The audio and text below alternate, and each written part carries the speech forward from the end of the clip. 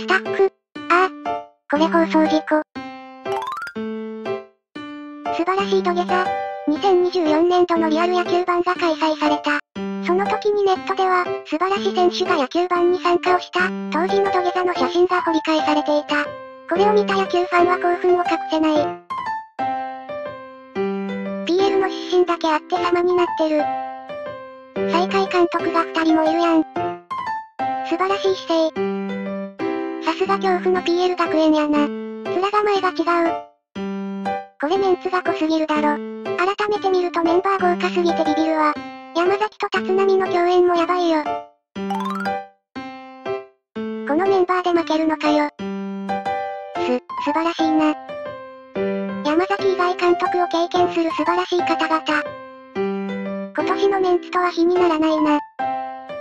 このメンバーが土下座するのはガチで奇跡なんだよ。これを超える絵は後にも先にも取れへんやろうな。こんにちは、石橋さん。現在、動画を一緒に作成してくださる方を募集中です。